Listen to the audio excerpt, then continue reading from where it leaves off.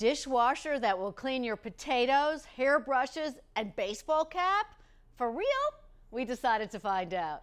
Mia D'Amico opened up her kitchen for us to give these hacks a whirl. Mia, we have some really crazy items to put into your dishwasher. We hear it cleans them, but who knows? Are you game? I'm game. First up, potatoes. For potatoes, they say rinse cycle only. Want to give it a try? I can't wait. Let's go.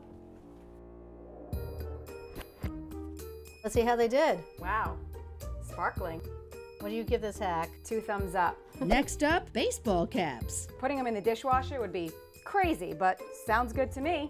It cannot be dried in the dishwasher. You must use detergent that does not contain bleach. We have to take the cap out before it dries, so go ahead and pull the cap out. Let's check it out. That dirt is gone. Totally gone. And look at the shape. It didn't ruin it. No, it kept its shape. What do you give this hack? 10 out of 10.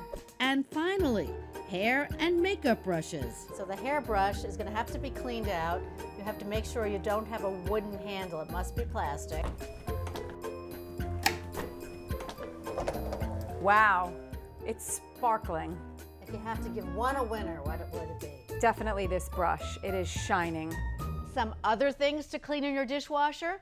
Try flip-flops, kitchen knobs, nylon pet collars and leashes, toys, and dirty keys. Who knew? Give them a try. I'm Janice Lieberman, and that's the real deal.